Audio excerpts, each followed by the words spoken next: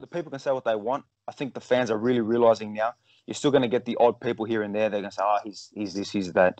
Um, you know, we're just focused on, on one job. We've got tunnel vision, and we and we continue beating and we conti- continue proving um, everyone wrong. And they're going to say say the same thing when I fight Teofimo Lopez. They're going to they're going to um, say, "No chance, he can't beat this guy."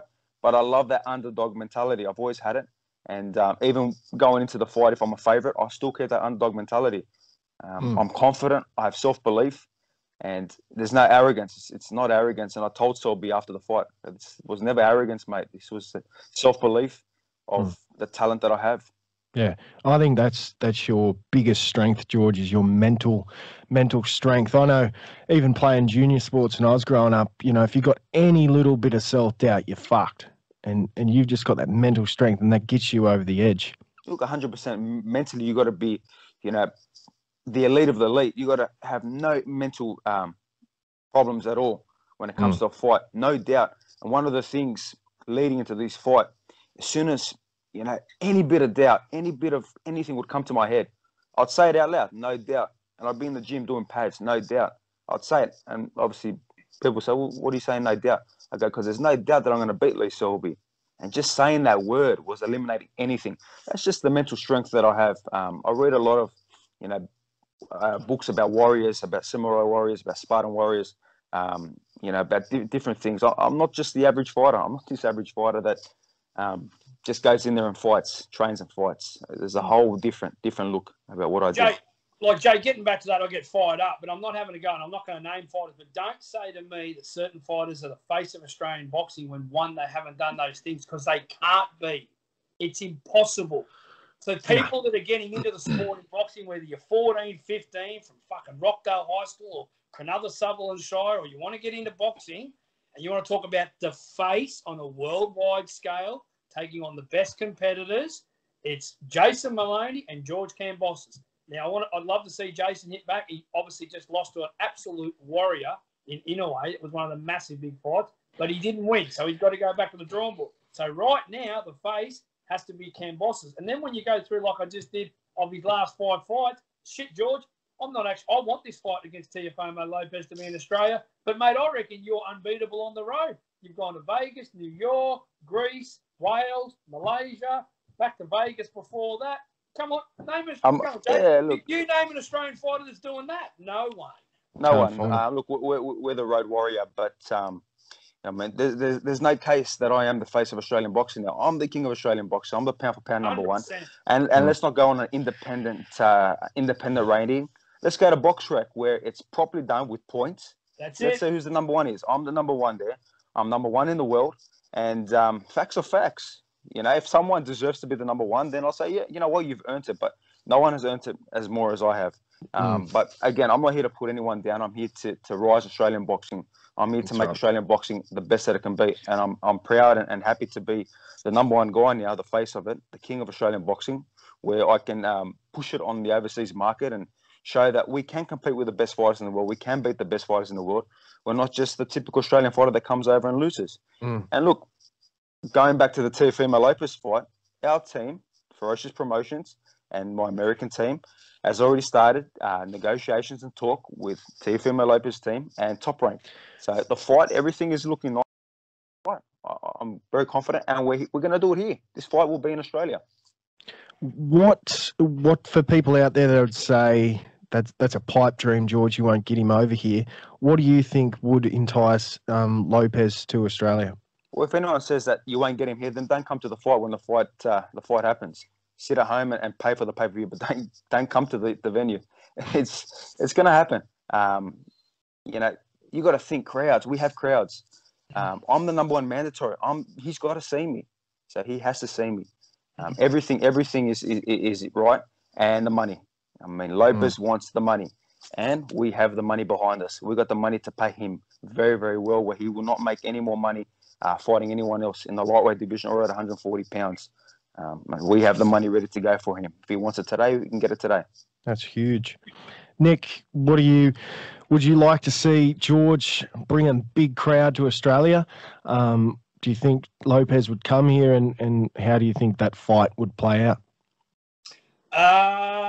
I'd love to see the fight. Um, not disrespecting Jeff Horn and Manny Pacquiao. Jeff Horn was in his prime. Pacquiao was at the end of his career. I don't think Pacquiao fight week took the fight as serious. George says, you know, the 10 weeks that you did with him, he did, but I felt, I know fighters pretty well. I thought on fight week he was sort of here for a bit of a holiday and $12.2 million from the Queensland government. We'll But get that with- to that in a with, minute. with Teofimo Lopez, um, he's at the peak of his career. George is at the peak of his career. I think stylistically, it's the perfect fight to happen. And I think anyone in Australia that, knows anything about boxing, um, especially in Sydney and Melbourne, I'd love to see it in Sydney, George. Um, whether it be at Bankwest or whether it be at ANZ, you know, I reckon you could probably potentially get 15 to 20,000 people there for sure as George just said before, shout out to obviously, you know, what Tszyu and Horn did up in Townsville, but this is a higher higher rank scale. I think a lot of people know about obviously they don't know about him like Manny Pacquiao, but people I think people who know boxing know Teofimo Lopez. They know he's just he's just beaten the so called pound for pound top five Lomachenko and George beat him easy. Like absolutely Lomachenko did not want to be there in the first six rounds. And I'll tell you one thing, not blowing George's horn, but George in the first six round against Teofimo Lopez is not going to give that up. He's going to be right uh, there with him. A hundred percent, a hundred percent. I'm not going to sit there. Yeah, I'm not going to sit there and wait uh, six rounds to start throwing shots. Nah. Um, I'm going to be straight out there throwing shots. But this this fight will be bigger than you said 15, 20,000. No chance. This fight's doing 50, 60,000. you reckon 50 um, Yes.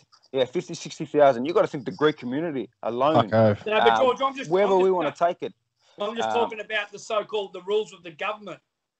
No, no, no. Well, look, this fight won't happen till March, April. No. So Uh, oh yeah, then bigger. we take it to ANZ Stadium. 80, ANZ Stadium holds 83, 84,000 people. Right, so if we get a 50, 60% capacity there, Oh, there's your 50, there's your 50,000 there. But Mm. look, our team has already started the negotiations. Um, like I said, we've got the right people behind us. The money's there ready to go. Um, I'm the mandatory. It's not like I'm not mandatory. It's not like I'm not the number one in the world. If I wasn't number one and not mandatory, people could say, what's he talking about? But I've earned my shot. Um, Yeah. And it makes the most sense for, for him to, to take this fight. And like I said, styles make fights. Um, I believe my speed, my power, two young, hungry lions, two guys willing to, to die in that ring to, to get what's theirs. Um, Yeah. It's just an exciting fight. And look, never in Australian history has there been a unified title fight for four world Yeah, title belts. Never. When was the last um, Australian fighter, and I'm saying born in Australia, to win four unified titles? To win the unified titles? Never. I mean, never. So this is history. Not only the, the event will be history, bigger than Pacquiao Horn, but um, when I win this fight, then I'll go down as, as the best ever in Australian boxing. That's no disrespect to anybody, but this will be a massive achievement. But um, first, the teams will, will, will make sure that we get this fight on. Um, No. I'm already preparing. I'm already visualizing um, Teofimo Lopez. For the last 10 months, I've been visualizing Lee Selby. So now that I'm training, obviously I'm in quarantine, but I'm doing all my work. I'm doing my shadow boxing and, and, and doing some pad work already. So, I mean, I'm already starting to see Teofimo Lopez. I'm What starting do you think of Lomachenko? What do you think? What do you think of that fight with Lomachenko and Lopez? I thought Lomachenko was pathetic early. Yeah, look, um, I don't know what's wrong with him. I don't know what happened to Lomachenko. Was he was he gun shy? Was there an injury there with the shoulder? He went for surgery. Um, I'm not sure, but to wait six, seven rounds to start throwing shots um, was was incredible. I'm looking, I think, what's he doing? Is he going to throw one punch at least?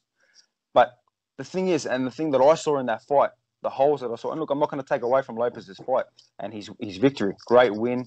Congrats Good on your, on your massive win. You beat the man who, who, who- had who had all the belts, who was considered the pound for pound number one. Um, but if a guy can sit there and not throw a shot for six rounds, and you and he obviously you tee off on him, and he teed off on him, off on, on him in a smart way, wasn't going crazy, so he still had plenty of energy. And then all of a sudden, Lomachenko started turning the pace on, and you saw Lopez start losing a few rounds, and you saw his conditioning start to gas. So Mm. what happens when you've got a young, hungry guy who's going to take your best shot and throw ten shots straight after your best shot and come straight at you from round one? That's that's the argument. That's that's the argument. That's the exciting part of this fight, where you got a young, hungry guy that's fast, explosive, powerful, can move incredibly. Um, you, know, you got to look at the Selby fight. I outboxed a superior Oh. boxer. My defense was. They never thought my defense was that good. I didn't really get hit. What a couple little jabs and a couple slight right hands where I rolled with the shot, or I moved with the shot. I didn't get hit. My face is still clean. Your head, your head movement, George, in that fight. I watched the fight again. I've watched it four times. Your head movement in that fight was incredible. How you were just moving straight back off the gap, not even having your hands up a couple of times, just sort of moving like this and just going, "What are you doing, Selby? You can't get me." And look, that, that all comes down to obviously, you know, the hard work that I put in. But I had fantastic, uh, fantastic sparring from Danny Kennedy in Australia, who gave me great rounds. I have so much respect for the guy. We used to spar years and years ago. When I called him up, and said, "Look, Danny, I've got a massive fight. I think your style is perfect for Selby." He was straight at it, um, and he's got a big fight coming up, the Australian uh, welterweight title fight for an IBF Pan Pacific title, and I'm very confident he's going to win that fight, and I back him all the way Against And Benny then obviously- White. then obviously, yeah, then obviously in uh, in America, Emmanuel Tagoe, who's a top three lightweight, um, Xander Zayas, who's a big, big welterweight. Um, great sparring had a couple other different guys there as well to emulate uh, Selby style. So all that sparring, you know, got me ready. And then when you get the training, obviously Mick Ackaway early in the piece, uh, and gave me fantastic work, showed me a lot of new things. Uh, really got to sit down on my shots, and then finishing up the camp with with my lead trainer Javier Centeno uh, who, who gets me so sharp, gets me throwing these punches in bunches. And um, I've got a great team. I've got a fantastic team from Australia to the US, great people around me. And um, you know, like I said, styles make fights, and I believe um, I will win this fight. I found your hand speed, George, too, in the latter part of the fight. Your hand speed was so much better than like it was good against Mickey Bey, but it was just impeccable in this Selby fight. The Yeah, look, the, the handspin wa- was was was great. Um, the power obviously held strong as well. Selby's got a great chin. You know, I mean, he's been in with some heavy hitters. He's been in with some good good guys. Uh, he's got a very good chin. I mean, so even when I hit him with them shots and I heard him and I felt like, oh, he's about to go. Um, you know, he, he just knows, you know, how to how to survive. And when you're fighting these elite guys, like I said, if I was fighting their level guys down the RSL club, I'd be knocking guys out and around. But what does that what does that prove? But when you're fighting the elite, the best fighters in the world, the former world champions, you're not going to knock all of them out. Mm. But to, to outbox them and to, to win, obviously, so many rounds and look so great and obviously put on a show, I mean, that, that shows a lot. Did you find George? And I, I know Selwyn, know a bit about Selwyn when he used to fight at featherweight.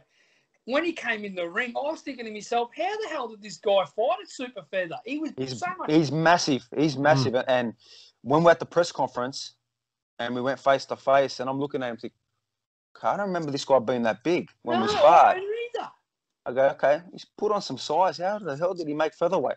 He was big. He was, I tell you, I've fought some big, solid lightweights, but he was big. He was thick. He was obviously strong. Uh, he carried some. He carried some good power. He had a bit of power there. Um, big, long, rangy, long arms. Yeah. So, I mean, that, that again, that that just shows that um, you know, it doesn't matter what style, what size, you know, the range, how long they are with it, with their with their range and their, their hands, um, their movement. You know, it doesn't matter. I'll adapt and I'll win this fight. Jay. Um, Nick, I'm going to say something now because uh, we we talk. You and I talk all the time about how Australian boxing is growing. It's you know it's it's on the right track. It's better than ever. But if the Australian government and, and we're serious about growing the sport, then where's the? I don't. You don't have to talk about money or anything here, George. But where's the money from the government to guys like George Kambosos who are fighting at the elite level to bring a big name to Australia? Why do we bring big names like Oh, oh. Pacquiao? I'll know- stop. I'll stop you right. I'll stop you right Yeah, there, you go, George. Uh, it's it's already it's already been discussed. It's already uh, Okay. it's already Okay. been in talks, and there's already going to be some positive uh, positive things from from the government. Uh, Well, to that's support, to support this fight because it's a massive event for coming out of the pandemic. This is huge. I mean, to stack out a state, fill out a stadium, uh, to bring such great tourism to to wherever we do it, you know, is massive for whatever state we, we decide to to do it. But obviously, Sydney and Melbourne are the front runners. Mm, mm. And obviously, um, we'll would have support from Fox Sports main event. Um, Yes, yeah, hundred percent. Yeah, that's something we've got to sit down with with with Fox Sports uh, once things get a little bit deeper, and obviously, um, you know, hundred percent that there'll be support everywhere. There'll be, there'll be great support. It's a massive fight. I said the biggest fight in in, in um, Australian history. well, this is good. This is good, Nick. Well, yeah, we have, but I think whether it's a podcast or it goes on FightHype, or the more people you know investigate their time into listen to people who have covered boxing and dealt with it at the you know certain certain levels and watched it and and got up at seven o'clock in the morning. Shout out to Fox Sports who showed the the Chisora and um, obviously Usyk fight and got up. The more people that are learning about boxing and and gathering information are learning. You know, yeah, this is what it's about. You know what I mean? Like I did an interview with Jeff Fenech two days before your fight, George, and he knows boxing bloody through and through, and he was speaking about the high level that this fight's at, as well as Jason's fight. And the more we educate people, and hopefully the people get on board, the more Yeah, people 100%. that'll, that'll realise it. And that, Mm. that's just the way it is. And this is no disrespect to Jeff Horn and Tim Tszyu, but those guys are not the face of Australian boxing. And I'm going to say it. I'm saying it. George Kambosos didn't say it, everybody. Nick Noonan said it because this is the levels at. And, you know, shout out to Andrew and Jason Moloney who are at the top. But I use the word, when I talk about George, I use the word pinnacle. The pinnacle is the echelon of the top. That's where George is at. And then whenever when he beats when he beats Teofimo Lopez in Australia, then everyone will go, "Oh my God, Nick, oh, you George Kambosos, don't start. I don't want to hear it." You've missed the bandwagon. Yeah. yeah. Um, look, at the end of the day, I mean, we know, and, and I think ninety percent of the, the, the fans know, and the Australian public know that obviously the top dog now is, is Kambosos. You know what we've been doing on the road. Even when I done that interview with uh, Darren Barker, former world champion, Yeah, and uh, the other guy from Sky Sports before the fight, and they go, mate, your last fight, and, and they were just reading out the fights, Vegas.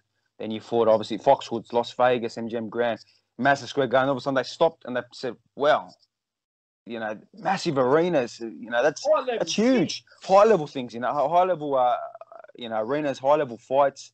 You know, a lot of pressure in these fights.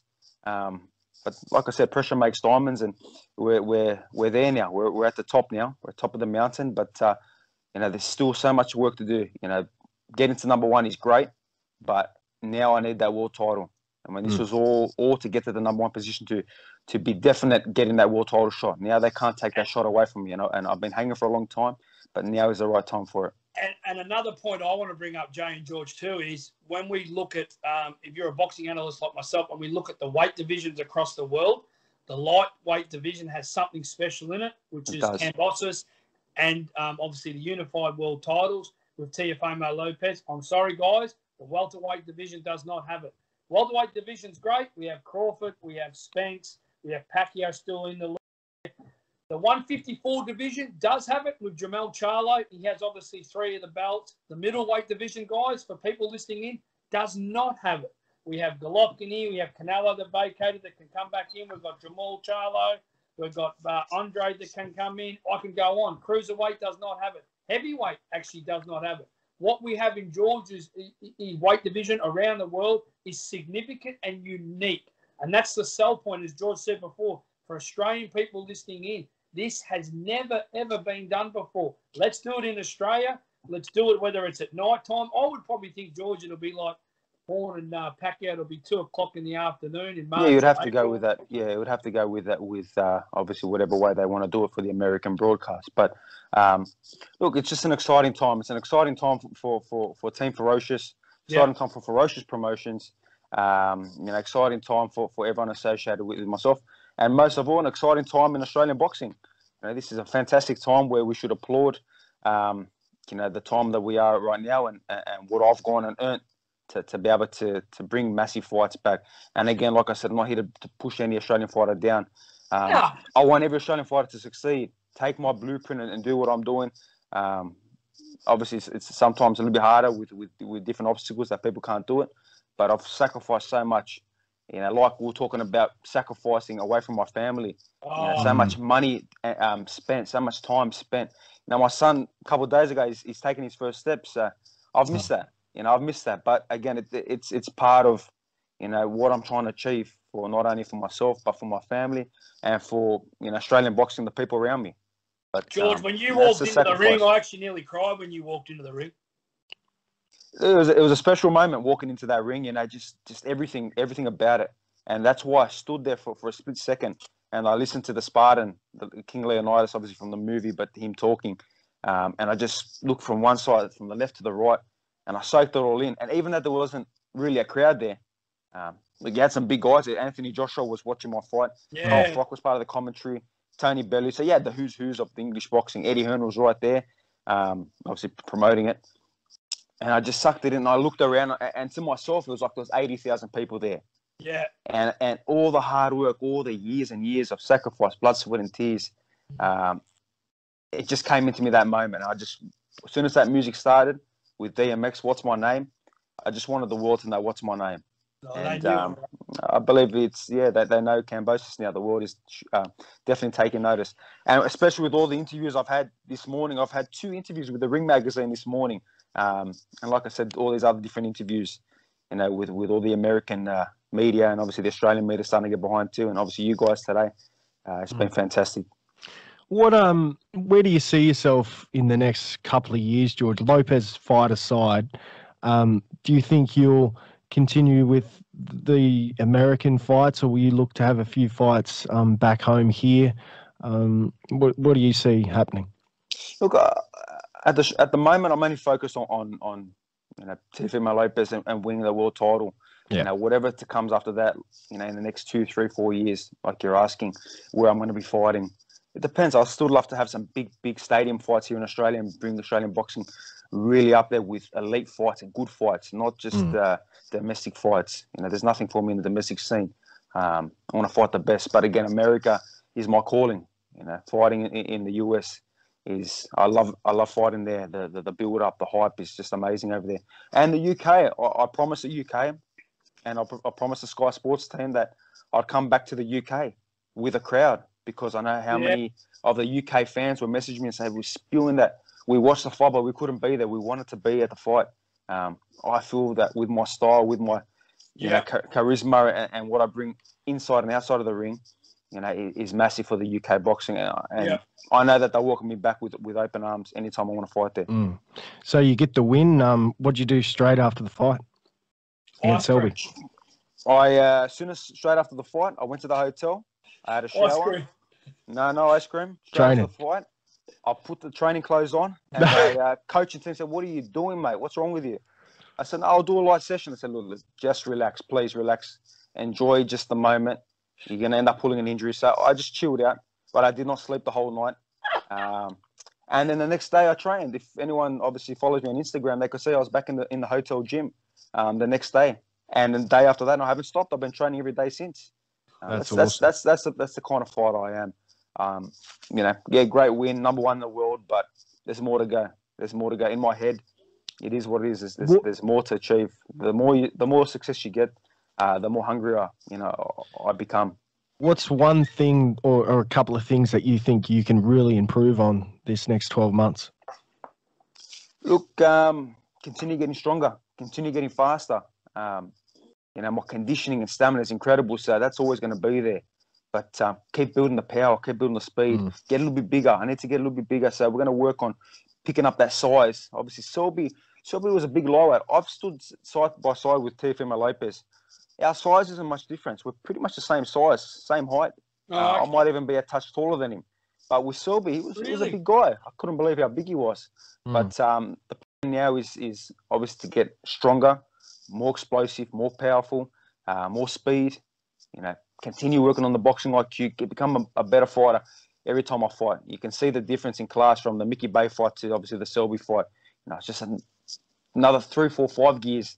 You know, so coming into this next world title fight, you know, it's going to be incredible this- what I'm going to be. I'm going to be at a whole nother level, whole nother beast.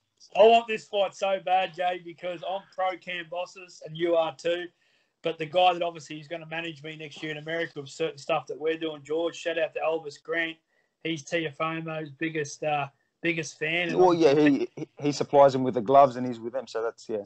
yeah, that's, but uh, no, no, but with this, me and him do business together. But in this one, it's uh, I want Cam Bosses to take your boy's head straight off, Elvis. Yeah, hundred percent. And look, I've met Teofimo a few times. We've been uh, gentlemen to each other. We've spoken actually not about boxing. We've spoken about other things. And at the end of the day, you know, he's got what I what I want. He's at the top now, and just like he was coming up, looking at who's in front of him, now, obviously, there's no one on top of him. So he's got to see the guys coming behind him. He's got to worry about the young, hungry Lions coming up him now to, to, to take what he's got. Um, mm. So we're excited. This is a great moment. I, I, I have 110% belief that that um, you know I will win this